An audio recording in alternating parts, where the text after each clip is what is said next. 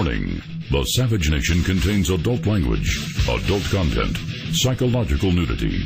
Listener discretion is advised.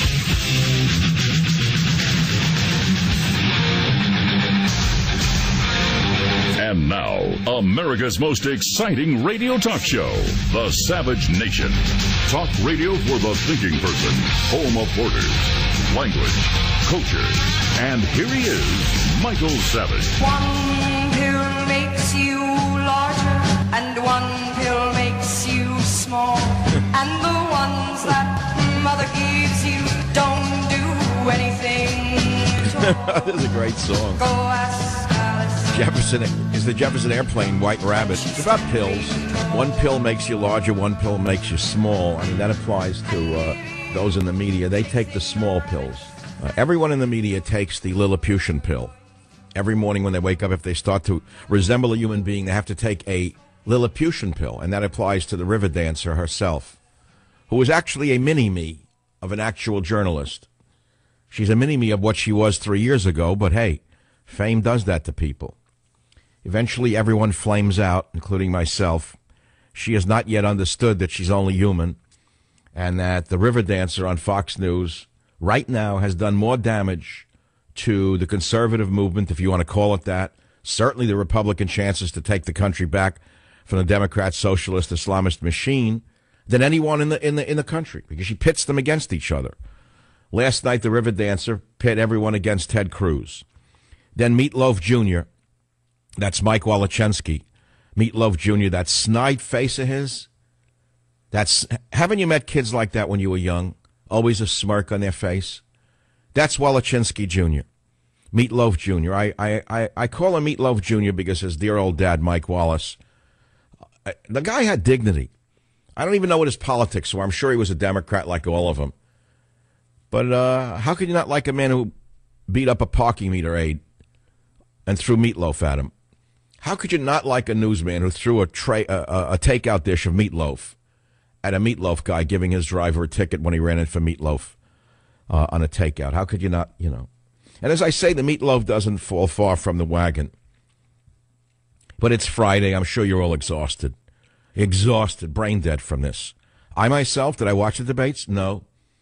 Actually, no. I went to a Chinese restaurant to have a drink and some uh, happy hour food. It was raining, you see. Teddy was sick. He was with the dog care. Irene and I got so lonely for Teddy. I said, I'm coming to get him in the rain. And I knew that if someone's healing when they're sick, they want to be in their own house. I know it from my parents when they were sick. People want to be healing in their own house or, you know, pass away in their own house. Anyway, I got him home and I'm giving him his meds. I'm giving him some small, some pills make you smaller, some pills make you bigger. He's getting four a day of the stuff shot in his mouth. I don't know whether they make him smaller or bigger, but he is whacked out and stoned on the on the sofa right now. I have a junkie dog from the veterinarian, but look, he's in pain. The sutures are in the lower jaw. So, a couple of things to talk about. Please note that no Trump ads run on the Michael Savage Show. Please make careful note of that. No Trump ads run on the Michael Savage Show. That's important for you to know. Number two, the ratings. When I came home, all I asked those who I emailed was how were the ratings on Fox during the uh, Republican um, wrestling match without Donald Trump. That's all I wanted to know because if the ratings were cl- even close, then Trump would have gambled and lost. That's it's as simple as that. It's a numbers game. He played a stare down with Rupert Moloch, and he says he got an apology. I'm sure he did. They probably told the river dancer to not kick him in the groin again. And he didn't do it anyway. So the thing is, what were the ratings? About half of what they were at the peak without him. That's you know you can read gibberish on this, but I'm a, an expert in, in statistics. Having studied epidemiology for many years, I had to learn how to read data. The data's simple. Last night's debate on Fox News Channel averaged 12 million viewers. That's a nice number.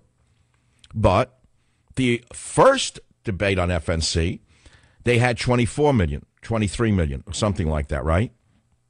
So it's about 15%, 50%. Sorry. I'm a little distracted from the medication I gave the dog. Maybe some of it slipped into my, my pores. I don't really know. So Trump did what he had to do. I mean, the headline is Trump, Trump, uh, Trump, trumped Fox. If I were to write the headline, it would be Trump, trumped Fox, right? And that's it. Or Trump trumped Murdoch. They're two moguls. I mean, they're big guys, and they were fighting, and he beat him. So, okay, let's put all that aside the ego stuff and the this and the that, the that, the do. Yesterday's show was, I would say, the peak of all my peaks because my monologue, Blood in the Water, Purists versus Pragmatists, no one has beat it yet in the entire campaign. I mean, I will say that because who else is going to say it? You? You're going to blow my horn for me? I read the blogs, I read the articles. Most of them are pretty standard, some of them are excellent, but lately there's been nothing. My article of Blood in the Water, Purists versus Pragmatists, is on michaelsavage.com and nowhere else. You can find it, the third story on the right. Blood in the Water, Purists versus Pragmatists. I would invite you to read it, and I would invite you to share it with friends because I think it says it all. And all I'm going to do is read you the last paragraph, which is a total of three sentences. And here it is. So I leave you with this thought pragmatists versus purists. There is room for both. However, only, however, only one can win. Think about what I just said pragmatists versus purists. There's room for both strains of philosophy, but only one can win. I'm Michael Savage. That's it. Cut to the chase. Next case. You know, walk along. That's all. Keep going. At 12:30 Pacific, which is in 20 minutes, 3:30 Eastern, which is in 20 minutes. Rick Santorum has been invited to join the show for one reason. He certainly can't win the presidency, but this is a stand-up guy as they used to say in New York. He is a guy who went on the stage with Donald Trump at the Warriors thing, the alternate Warriors event. Unlike Huckabee, who I was real, I, I didn't know what to make of Huckabee. Now I know is don't trust him because although Huckabee went on the stage along with Santorum, with Donald, the next day, morning today, Huckabee goes on CNN, stabs Trump in the back, basically. So Huckabee is a, a media. Remember, Huckabee comes from the media, nowhere else. And so, what would you expect? Another one. That's all. Another one with the guitar and with Jesus in the Bible. He's still a backstabber with the Bible, with the guitar, with the R Shucks, with the Roy Rogers. He's still a, a slick a slick con artist. End of story. Huckabee, forget about it. Santorum, good. Huckabee, bad. I'll make it uh, Animal Farm esque for the audience. Most people don't know what I'm talking about. They hear a guy with like a gravelly voice. What is he talking about? I don't even know who these guys are. I'm scanning the dial. Something about him. Lucky Bee, uh, Applebee's. Is there a special at Applebee's for like a roast beef? Can I get a free pizza at at Pizza Pizza. They don't know what I'm talking about. The average person doesn't even know what's going on. They have no idea about the debates, know what they mean. All they know is that Donald Trump is good and everyone else is bad. They know that Hil- Hillary is a criminal and a liar and that she's probably going to go to jail. I think even the average jerk knows that by now. Even the liberals are turning on her. And what came out today, some, I mean, did you see, did you see the headline? Some Clinton emails too damaging to release. I mean, she's going down. This one's going down, and I'm going to I'll make a prediction right now. Maybe I'm right, maybe I'm wrong. I'm one man. I'm talking to you like you're in the living room with me. And here it is. If she goes down, believe me, believe me, the billionaires and trillionaires who run the Democrat Party, don't, don't think it's run by Karl Marx and his minions. Uh, the billionaires and trillionaires who live off the gravy train, the unions, the fraudsters in the uh, health industry, to name a few, they're not going to let Bernie Sanders anywhere near the prize. Are you joking? So who are they going to run? What I said two weeks ago. You don't have to be a genius. They're going to run old Joe Biden. It's going to be a very tough uh, campaign for Donald Trump if Biden runs. Why? Because Biden is a certifiable moron, a total moron who is nothing and has always been nothing but a front man for the Democrat machine. But he is a, I'm telling you like it is now, don't take umbrage at what I'm about to say. I try to speak truthfully as best I can. If you're going to have two approximately equal in height white men with white teeth running, and one is like a nice, you know, oh, we know him. Oh, yeah, that's that guy. Uh, he was with Obama. Oh, what the heck? You're going to get an awful lot of independents going over to Joe Biden because they confuse him. They confuse him, for, you know, with someone he isn't. Let's put it to you that way. He is a stooge of the far left but it's going to give Trump a lot of a lot of trouble. I pray to God it would be Trump versus the commie or against the criminal.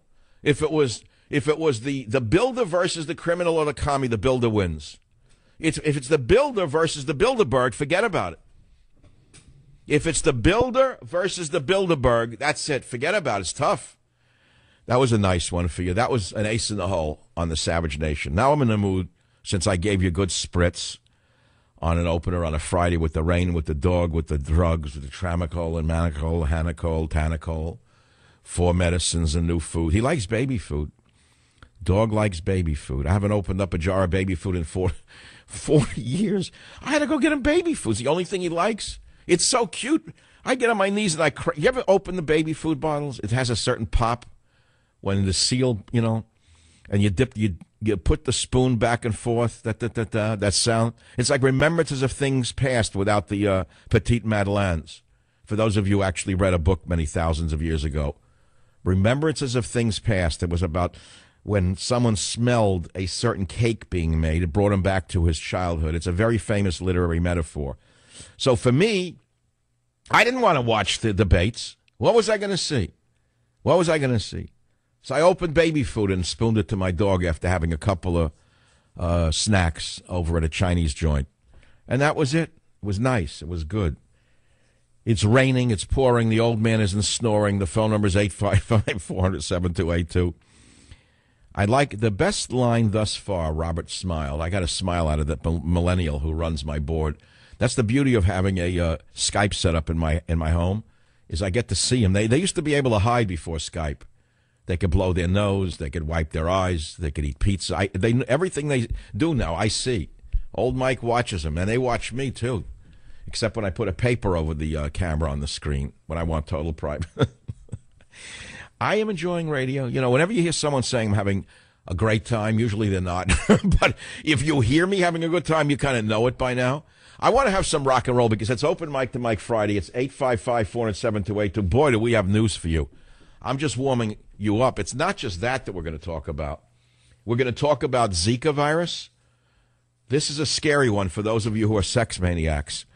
Two cases hint at possible sexual transmission of Zika.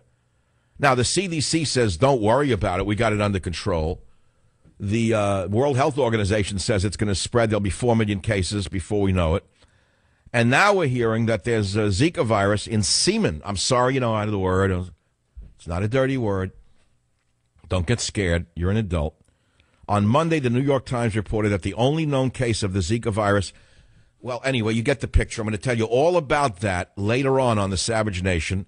And of course, yes, I will lead you to my little tiny ebook on stimulating your immune system against all viruses because fundamentally one virus is different than another in structure, but viruses tend to do similar things to us in some ways and dissimilar things in other ways. That is true as well.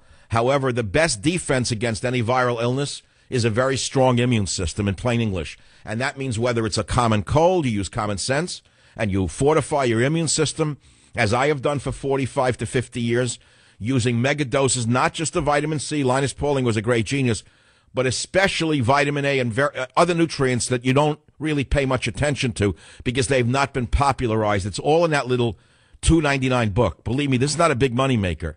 This was done in order to save humanity from the lies of the government. And it's I think it's on Amazon. It's not even available. I think you can pre-order it. But I'm doing it to spread the word because there are things you can do. You can take power over your own body and not wait for the NIH to tell you not to do anything. So we got a lot to cover uh, this week. Uh, let's see. Today is the 29th of January, as you know. And thank God the primaries are over on Monday. Oh, my God, I can't wait till Tuesday so I can get back to normal programming and I, I can talk about epidemiology, nutrition, health, supplements, all of the things that sane people care about. I'll be back.